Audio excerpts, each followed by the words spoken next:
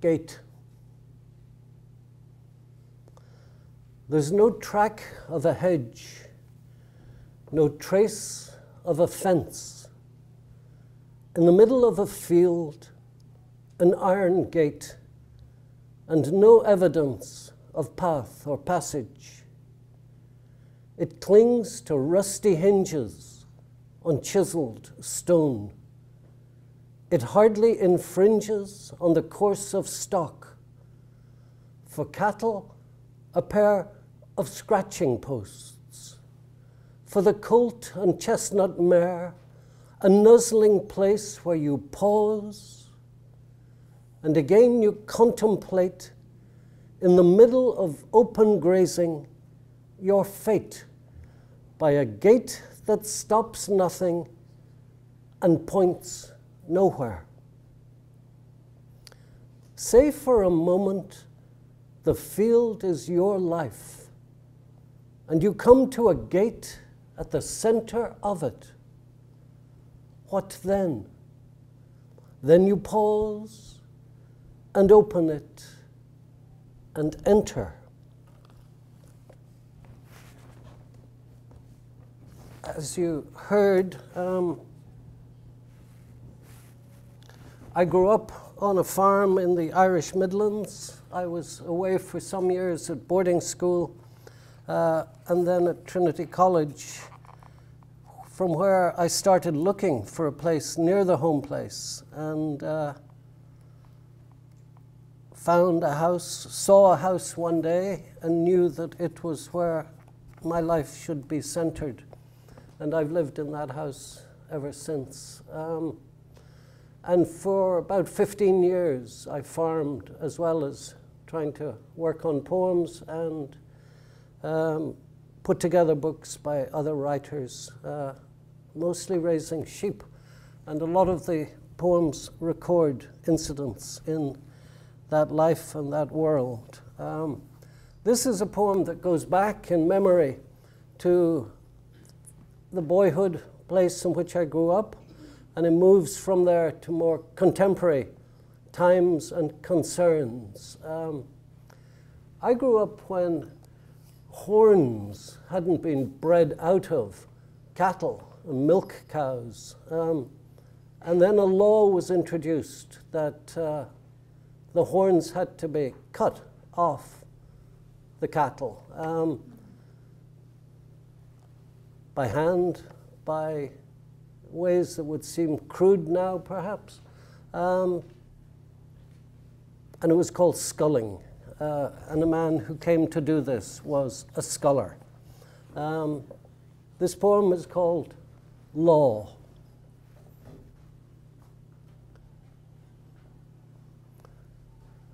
I love it in one way when the room is packed, but uh, I recognize the disadvantages too. Um,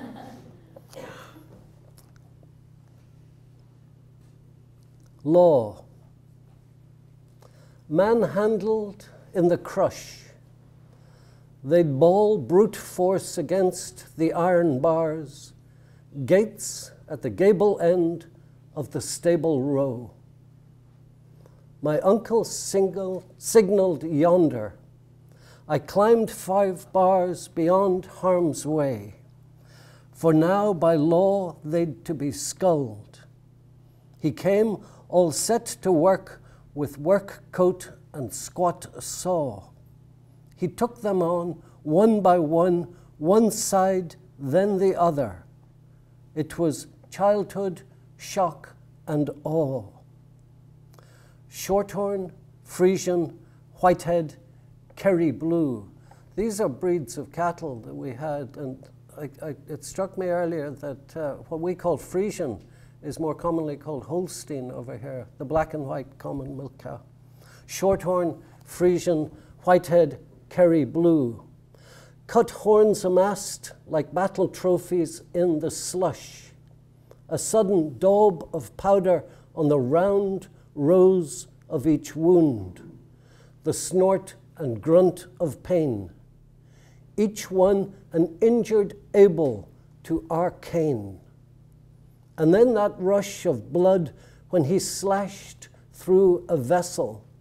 that pulsing arc that splashed our hands and arms and faces and made muck blush. All brought back to me by a footnote to the latest slaughter in Iraq, where some of those that lived envied some that didn't. In a photograph, a boy the age that I was then, with half a head, whose skull was shorn beneath the ear, straight through bone. The gore coagulated on a lac.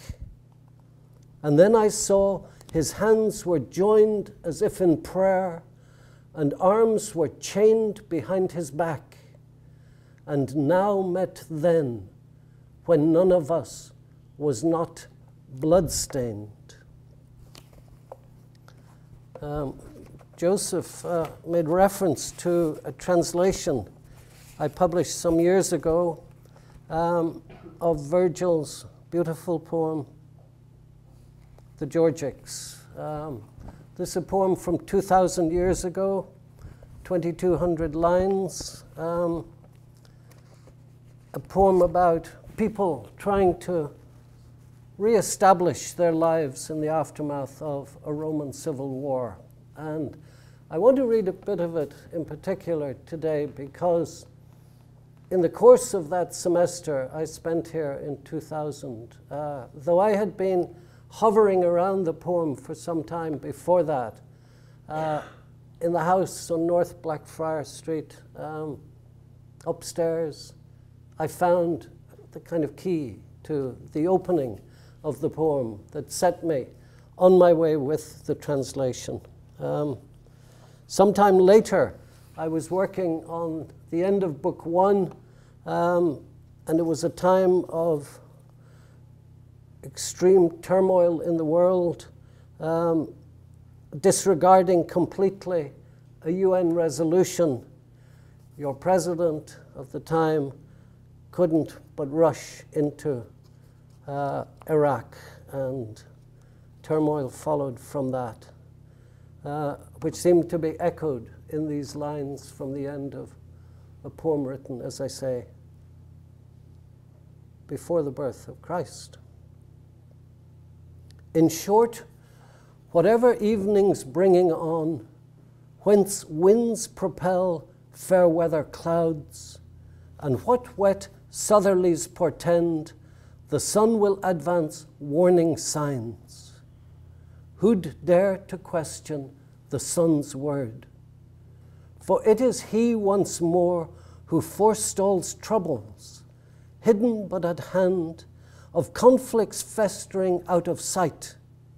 And it was he who felt for Rome that time that Caesar fell and veiled his gleaming head in gloom so dark the infidels began to fear that night would last forever. The skies of Germany resounded with the din of war.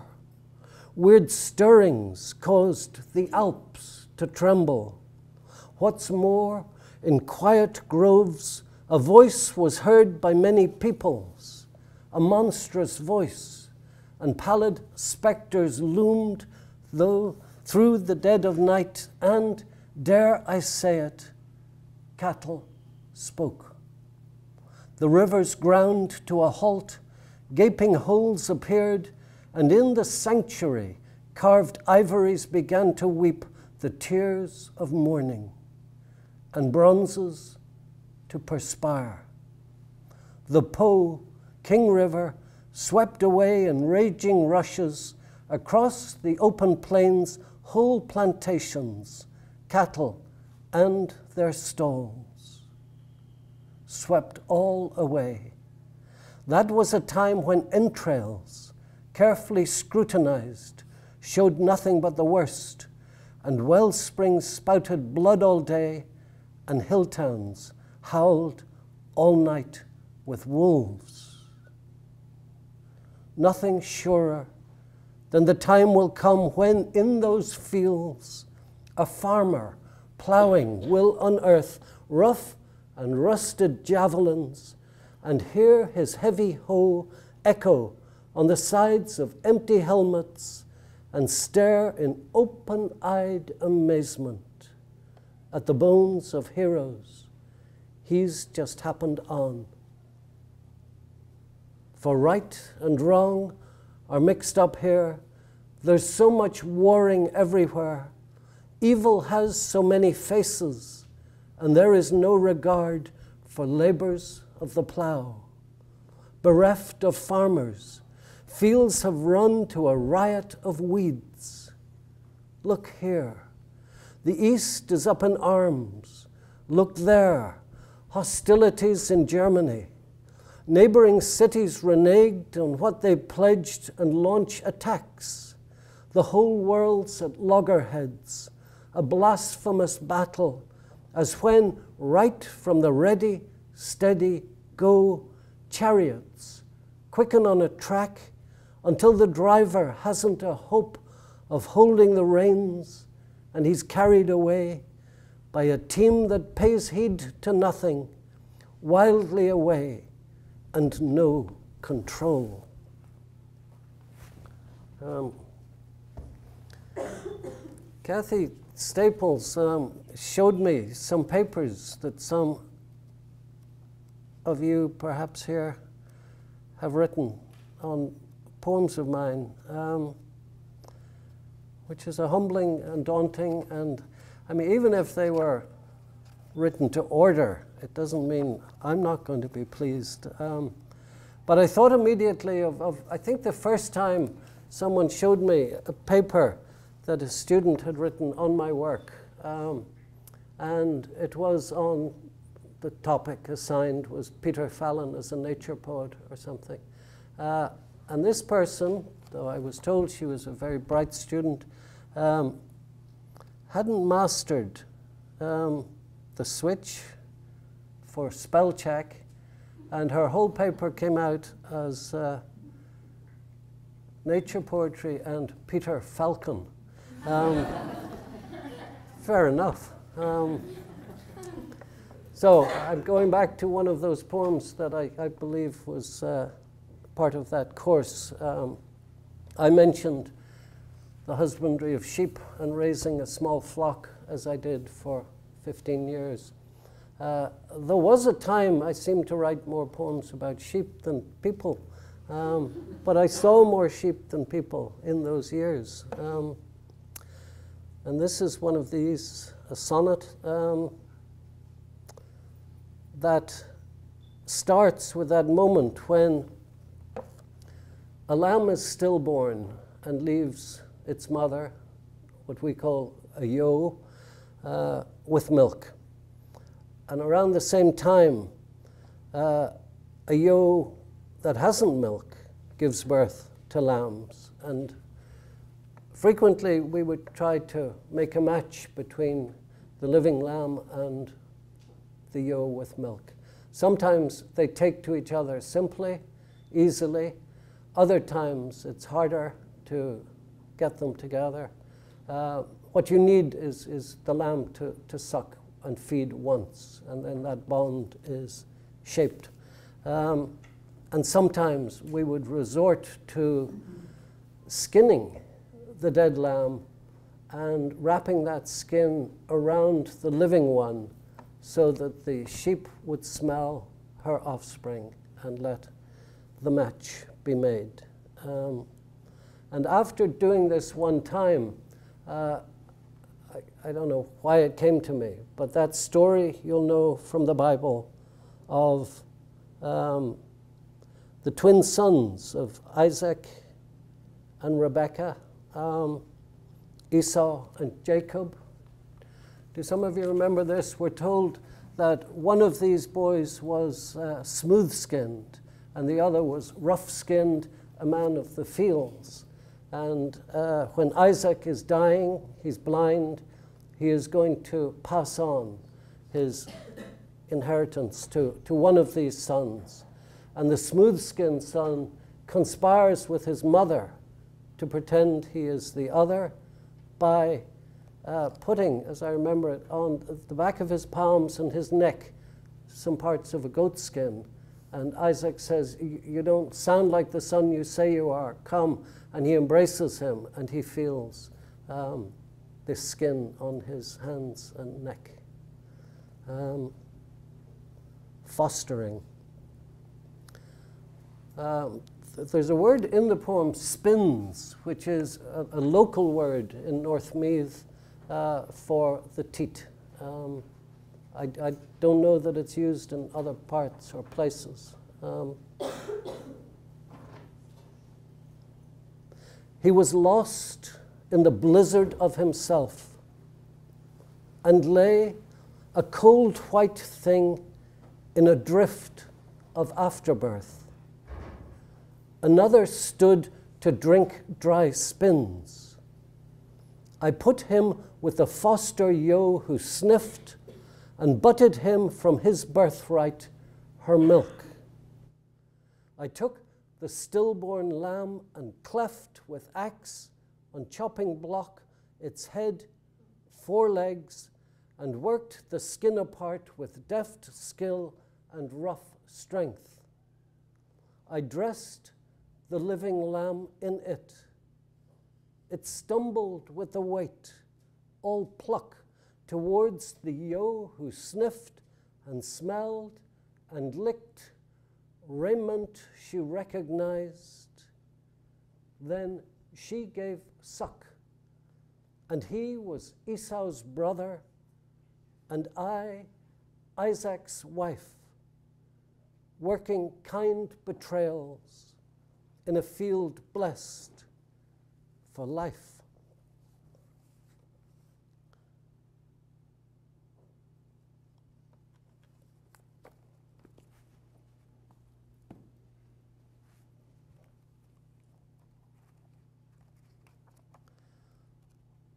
This is a poem that starts late afternoon, early evening at home in Loughcrew, just watching that daily migration of crows from their feeding grounds, heading uh, towards their nest, flying over the house, uh, pausing on a, row of lime trees, uh, gathering, grumbling, arguing, and then continuing to where they nest. Um, it's called an outlook. They have ruffled the embers of evening and flap from its flames. They come like clockwork, minutes later, every eventide a loud returning that proclaims the row of limes in which they pause en route to roosting in the rookery, a place of rest. They sketch black scripture in the sky. They watch from trees where they don't nest. These pairs and threes, tens and dozens, making thousands while I, intent on praise and mesmerized, wonder what, as they fly by, they might be, and realize they are the days. Um,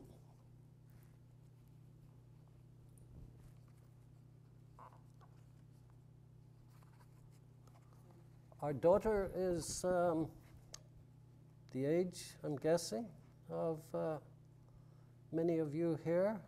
Um, this is a poem I, I wrote some years ago when suddenly she was growing to that point where she was beginning to encounter the world on her own terms, um, and our place was to stand back and let go, um,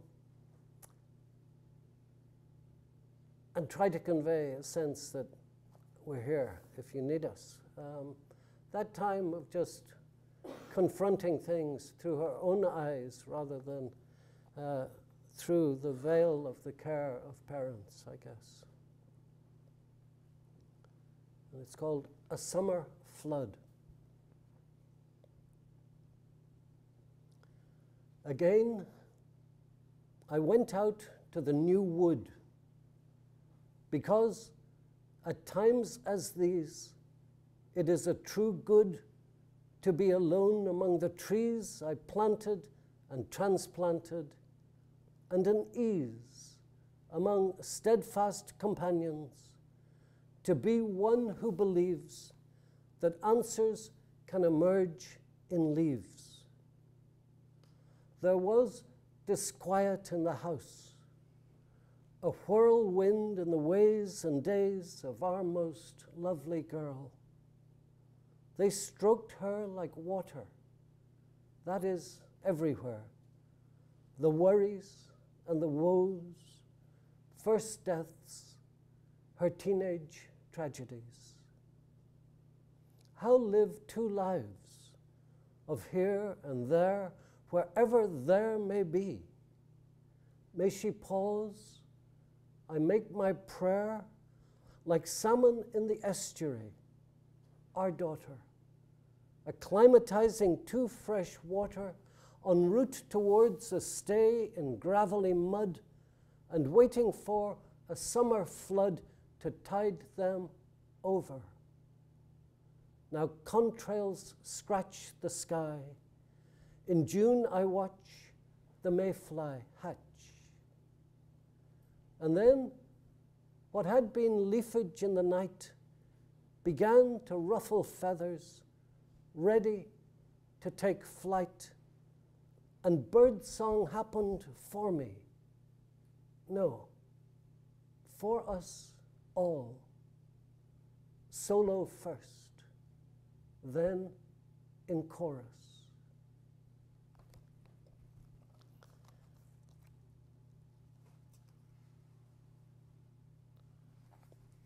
I'd like to read three or four more, um, but it strikes me I'm, I'm maybe failing in, in, um, to, to address that question of poems to, to read. Um, without this sounding terrible or corny, I mean, if there is a poem someone would like to hear, um, I would love if that person would speak or wave or um, let me know. There's no point afterwards in saying, I wish you'd read something, you know? Um, is there a poem anyone wants to? I mean, we're all friends, don't be shy. Um, let me know. Um,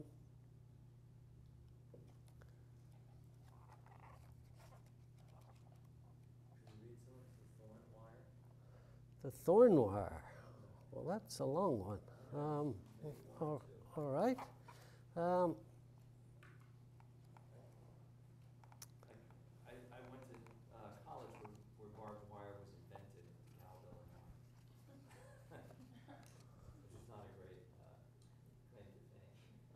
I don't know. It seems to be.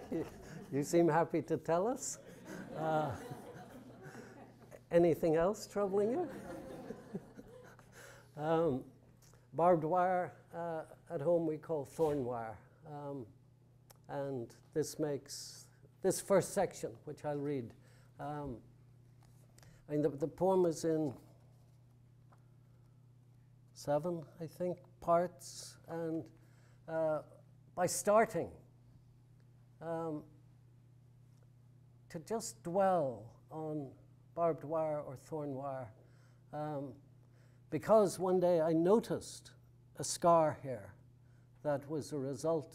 Uh, the, this first section describes what happened, and I, I noticed the scar, and I started remembering what caused this mark uh, was barbed wire, and then I, I just kind of traced barbed wire through uh, centuries. And it occurs and um, it became a kind of emblem for me of his history and conflict and those miles and miles of barbed wire on the uh, front lines of the First World War, um, the miles and miles of wire when the, the, the, prairies of this great nation was uh, being fenced for the first time and the divisions that that caused. And again and again, barbed wire seemed to surface. Um, but let me just say wh- where the takeoff for, for that kind of contemplation was began. You've pile driven the posts. The sledge would splinter or split. You fastened one end to the strainer and unrolled and unraveled the other 80 yards of it. On the top of that run of sheep fencing, you're stretching a, stringle, a single strand when it unleashes its attack. A, cold, a coiled cobra springs, snags, and rips raw lumps from the back of your bare hand, ungloved to grip wet staples. I saw blood flow, but had no feeling. In the teeth of rain, my crumpled palm brimmed like stigmata. I saw bone, an etch on it, pain prostrate on the bud of healing.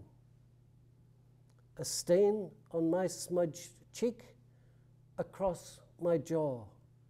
Blood coursed the slope of folded fingers and gleamed on brutal barbs.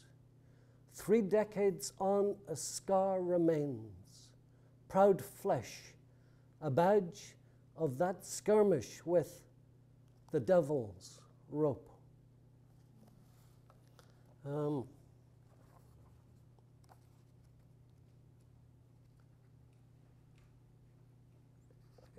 is there anyone else who thinks of a poem or has a poem in mind? Um,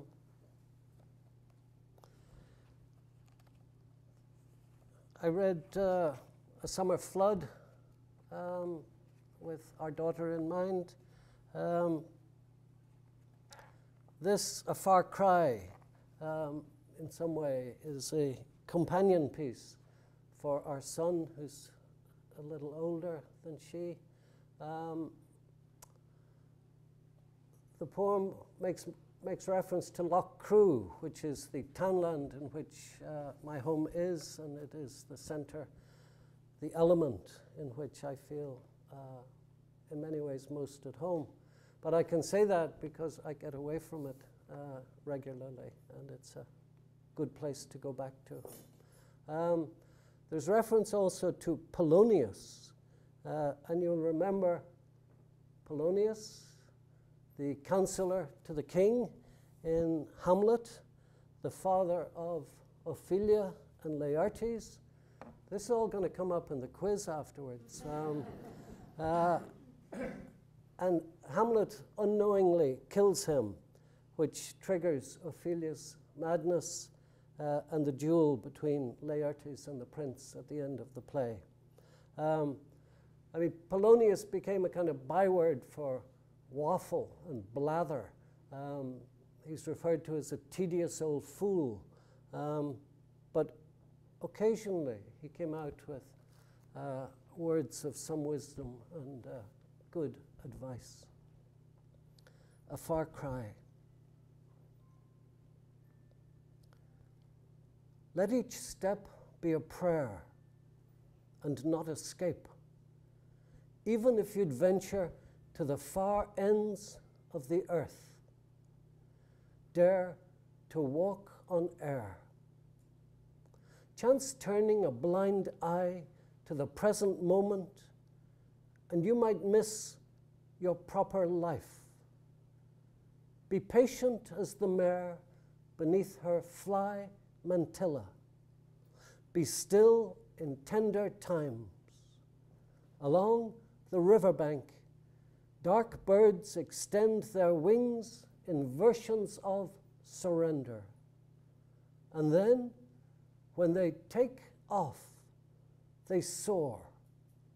Heed their sermons. Heed morning's constant benedictions, winds histories Bend, don't break. Credit that part of you that hopes to be haunted or lies submerged like the three streams of Lough Crew, whose principles are graven in your bone. Bear with this Polonius and trust the heart. The heart's a haven. You'll wonder if you're seeing things as you awaken to the need to dream new maps into being. Choose quietude. Don't shy from silence. World needs be no more than itself. Imagine. Abjure the social violence that has fractured families, homes, and hearts. We let go the loved one, not the love, and shattered whole communities. Say never again to the wild Irish rover, no more to the minstrel boy. Give us back our sons and daughters. Say that Ireland is over. Um, and two more poems, if I may. Um,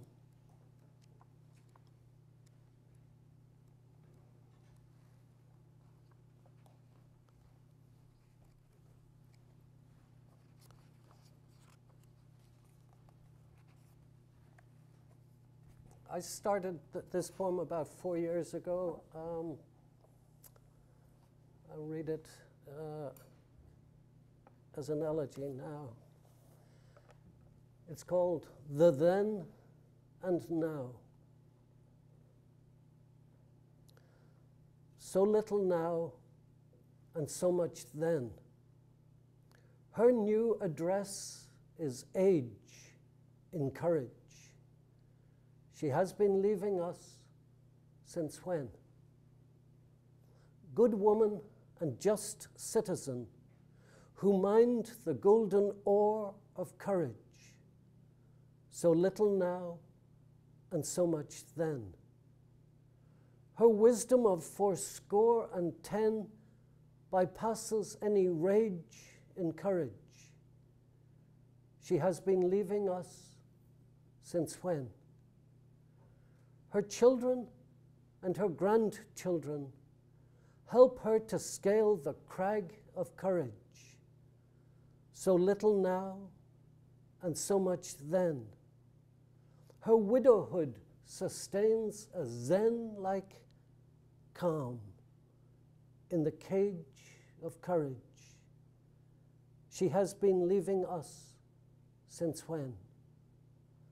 The word she'd say now is Amen, epitome of grace in courage. So little now and so much then she has been leaving us. Since when? Um, I'd like to finish um, with a poem that's called A Family Tie. Um, may I repeat thanks to Joseph for his welcome, the door he keeps open here. Um, to the university for the Heimbold Chair. Um, a terrific young novelist, Claire Kilroy, will come in January. Um, to my old, old friends here, Jim and Kathy. To my director, uh, Kathy Staples. Um, but to all of you for attention, and uh, I thank you for listening. Um,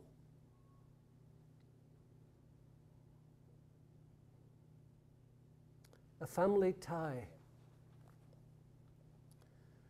She lit the candles of kindness one by one until her pray for me.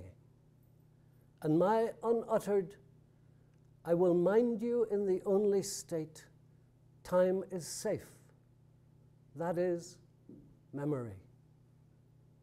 Your haunting by a younger self tests a courage to keep faith when so much disappears. Friends to age, the land itself, the waves that weep on one lake shore leave the other wet with tears. All that was long before I learned, if I've learned anything, because I read a sign that any life might be the same length as a strand of twine. Time, is it? Or time that's left? The hours in which we partake are but a trick of retrospect and longing. When you left home, it was I who was homesick. Now, what was and is have separated, but are still twins within that mystery of time, or time and place, as if a place had but a single history, for it was not a letting go, no, more a series of sheddings how often have I quoted her? You can't dance at all the weddings. Now you chase your hearts and aces. The days bequeath but brittle traces. We might grow by healing. Be strong, my love, in the broken places. I'd wake and want to give the ordinary day its due. Who enters age amenably? Who but a lucky few complete their lives? It's true. I'd seek the makings of a summer in a single swallow. Do good work, I'd tell myself, and the rest will follow.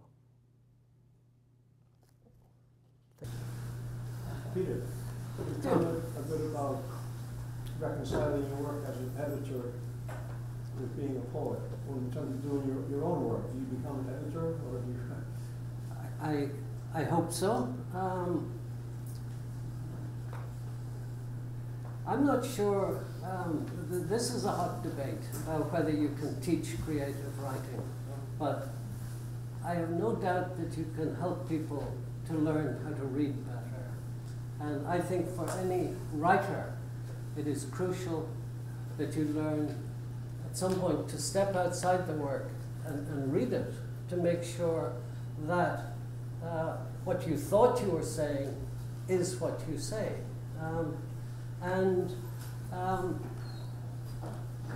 a lot of my time is, is spent working with other writers on books and on their texts. We, we work very closely together. Um, and I hope that I am a supportive, cheerleading, critical reader of that work. And uh, I hope in some way I'm helping them to, to read the work, um, to see it from a different perspective.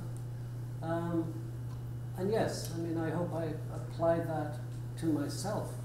Um, I mean, it can happen easily that, that you think you've said something and you haven't. Um, there's a terrific early poem by Paul Muldoon, poet I revere, um, one, of, one of my close, close friends. Um, and I remember reading this poem with some students once, um, and it's a poem called Identities. And it, it's, it's like a kind of film from uh, the, the, 50s or something. You imagine black and white film of people uh, trying to cross borders and arrange papers and everything. Um, but it starts. Um, and I was reading the poem with these students, and I, I thought it was pretty straightforward uh, at the beginning at least. Um, and it uses that colloquial phrase um, to fall in with another. You you're used to this phrase. I thought, He fell in with a bad crowd. He fell, you know, he fell in with another. Um, and the poem starts, um, when I reached the harbour, I fell in with another. And, and these people proceed through the poem. And I thought, this is straightforward enough. And a student I had was completely baffled by it. And I said, Rob, what's wrong here? Um, he said, just don't get it. And I said, what don't you get? And he said, when I reached the harbour, I fell in with another. Um, he had him in the water. and he's right, you know. And of course, Muldoon was thrilled to hear this. Um, uh, and maybe, you know, if, if you were reading from all angles, you might have picked that up and you might have taken the chance on it anyway. But um, you hope, as an editor, to be, do you use that phrase here, invisible mending? Repairing? Um, you know what I mean by invisible mending? Um, and I think editing should be a kind of invisible mending, in the sense that if, if, if you can see the repair work, it hasn't been done that well. So would you have changed I fell in with if you had been helping him edit? Well, maybe not, because I, I think the colloquial tone, um, I, think often the, the, the, guiding help that we have is the phrase, um, we're all used to the phrase the mind's eye. You see things in the mind's eye. But I don't think we use enough uh, the notion of the mind's ear. So that even if you're not saying something aloud, you're hearing it. And I think uh, the mind's ear, in a case like that, would have gone with the idiom, the colloquial of falling in with another. Sometimes you just take your chances with these things.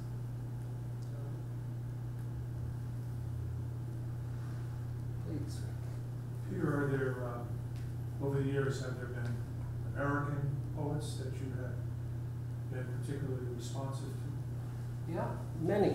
Um, uh, I was at college the first time that I was invited to, to come to do a reading in this country, and it was in Western Massachusetts, parts you know well, Brook Farm, um, further west than that, uh, and it was April, um, end of winter, and I had just this uncanny sense of familiarity with the territory. And I, I couldn't work it out. And then I just realized Robert Frost gave me this many times. I mean, I've been reading him, and it was a true landscape.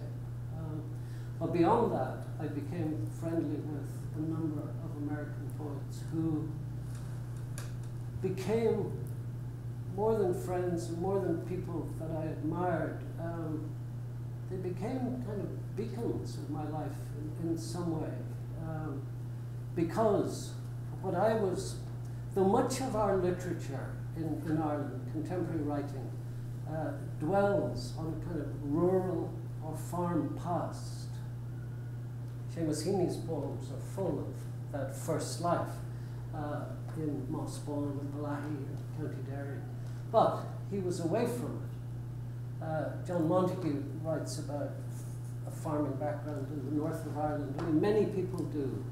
Uh, but I was trying to practice farming and more engaged with the natural world in some way than they were. And I wasn't finding equivalents in Ireland, but I was in North America. Um, Gary Snyder was an important presence and poet to me. Um, and it was a thrill that he came to Loughcrew one time when we had a couple of days together there. Uh, and my enduring friendship here is with Wendell Berry.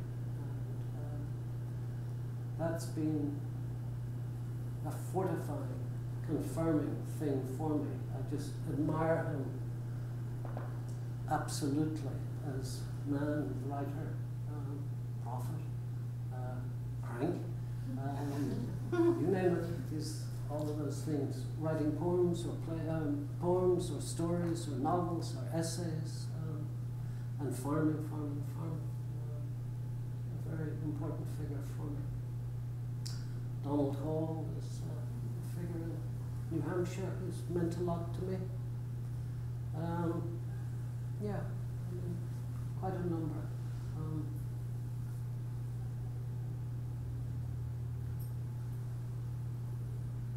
please. Um, I think, speaking of the ear, I detected quite a few of your poems were in form, formal. I'm wondering how you decide be- between writing in free verse versus. Well, um, I'm not sure what free verse is. And uh, I mean, as you know, famously, um, Robert Frost referred to uh, certain kinds of writing as being like playing tennis without a net. Um, form, for some people, is a four-letter word that begins with F, uh, and um, for many people, it, it, it, it seems something that's too hard um, you know, to start rhyming something or writing in lines of, of equally measured pitch, uh, and then to have to keep going with that, you know, and there might be a shortcut or something. But I, I find myself thinking, uh, if it isn't in form of some kind, what is it? It is formless. And is that what you want? Um, so I'm not saying everything should rhyme. I'm not saying everything should be in uh, iambic tetrameter. I'm not saying everything should be um, sestinas. I'm, I'm not saying anything like that. But I think if you're writing poems, something has to govern a line. Something has to distinguish it from a prose line. And often what governs a line is back to sound, our voice.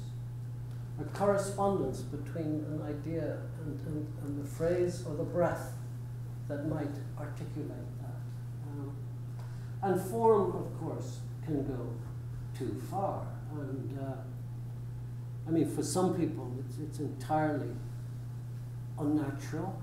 It's constricting. As uh, I have that image of uh, those kind of Victorian corsets that people used to strap themselves into, uh, made of whalebone and the like, uh, and to tie themselves so tight to the point that they couldn't breathe. They broke ribs, you know. The, uh, and form can be that for some people. Um, but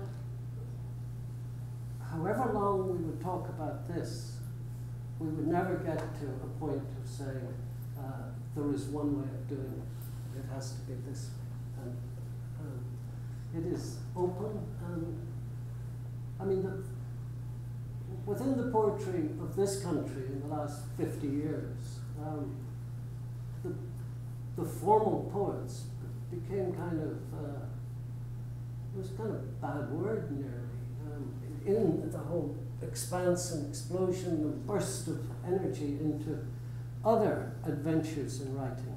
Um, but there are people who were masters of form who just kept doing it and didn't care. I mean, I'm thinking of, of someone like Richard Wilbur, who's just a glorious, glorious poet, and he was out of fashion, but he didn't care. He just kept doing it, and, and those poems uh, will endure um, as, as pure things. And, and if, if I, I think Wilbur is a terrific poet. We have a kind of equivalent, um, a poet called Derek Mahon, who writes a classical verse, subject matter that is completely up to the moment, but formally Uh, there are poems that, that could have been written by Philip Sidney centuries ago.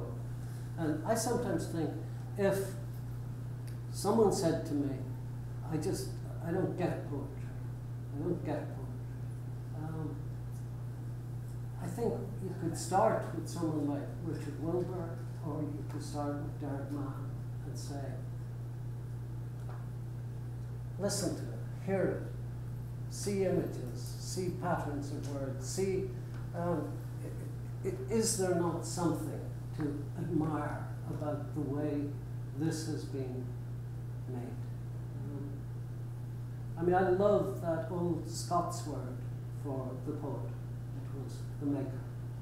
William Dunbar's terrific elegy for the lament for the Makar, as he called it, the maker. Um, and the poem is, in my view, a composition of different things, and the decision to exclude certain things as well. Um, but it is, I kind of envy dramatists that word that they have, playwright, the right, the, as in the maker, the, the wheelwright, the Wainwright the cart, the cartwright, uh, the playwright, the person who makes the play. I, I kind of would like we were poem wrights. um,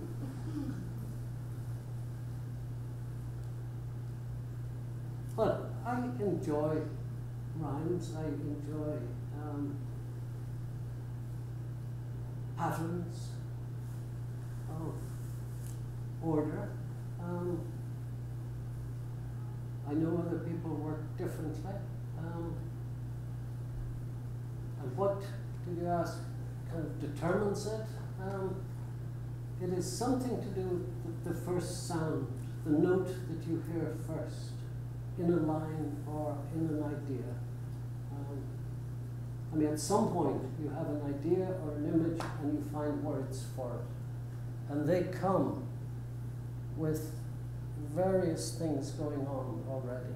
It, could be the speed of them, the kind of tempo, or it could be a length, and you build on that. Um, so I don't want to say something as cute as I, I don't choose them, they choose me, but, but they are born of something.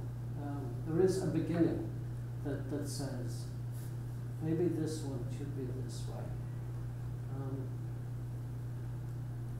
one of the alarming lessons of my life is that uh, I thought you'd practice writing poems, you'd, you'd work at poems, you'd eventually get to the point of knowing how to write poems. And it has struck me that you don't learn how to write poems. If, if, if you're lucky, you learn how to write the poem you're working on at that time. And then that's finished, and you don't know anything. You just start again. Um, it wasn't what I was hoping to learn, um, but I believe it to be true, and it's true for me. Did you have a question? Yes, you. Yeah, I have a question about your interest in Latin poets and authors. How did that get started? And when you like make an attribution to a poet, a Latin, you know, a Latin poet from centuries ago, Yeah. is it a direct translation or is it, were you inspired by? Well, And why not Gaelic poetry? Has that affected you at all? Um,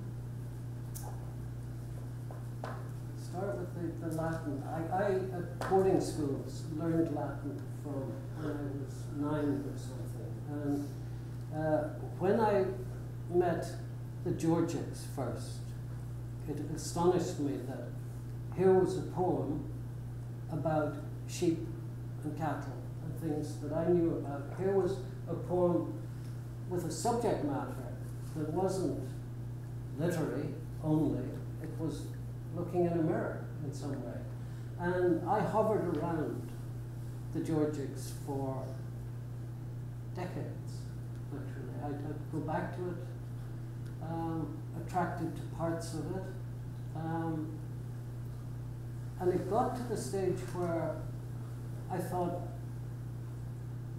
well, I, I believe that an act of translating depends on some affinity between um, the person translating and, and the original. Um, but it, it's an act of reading, really. It's an act of very close reading. And I thought I wanted to read the Georgics closely. Um, and I thought there might be passages in it that I would plunder and uh, translate. And I, I mean, I wasn't even thinking of publication, but I did some of this, and then I began to realize one, I wanted to read more and deeper, and two, that to take some of these passages, I would need to read the whole lot anyway to establish a whole context for me.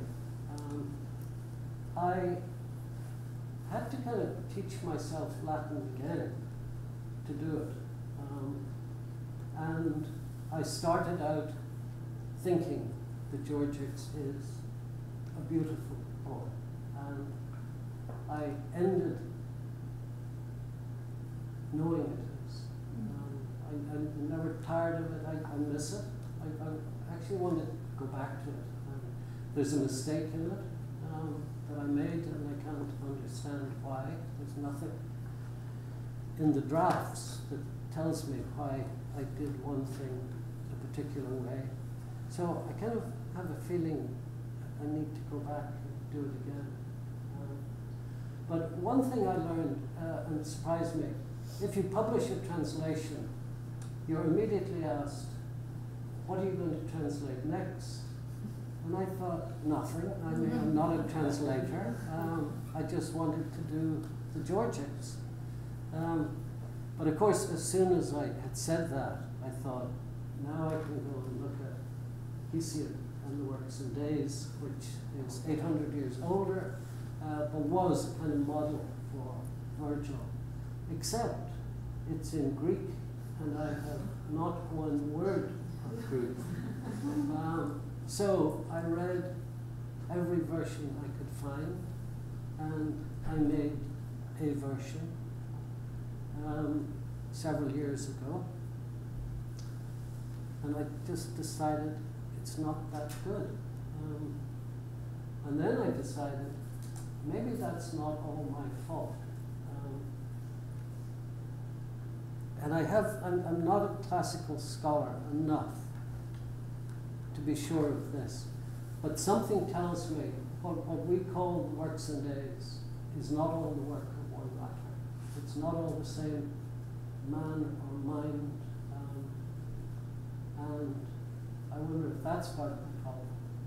And recently, two Greek scholars asked if they might work with me, trying to identify what makes me think these are in a different key, if you like.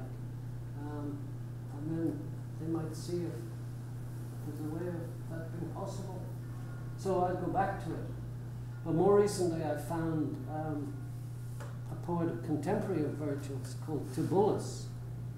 Um, and I, trans- I, I, translated a couple of very short pieces by him and then two longer pieces, which are in Strong, My Love. Um, Tibullus, in, in, that age of everyone seeking fame in battle and uh, wanting fame on earth and fame in the afterlife, Tibullus uh, more or less said to his patron, You go off, fight those wars, that's what you want to do. I want to stay here with my girl. Uh, and uh, I don't want to work, I just want to lay about. So, of course, instant affinity. Um,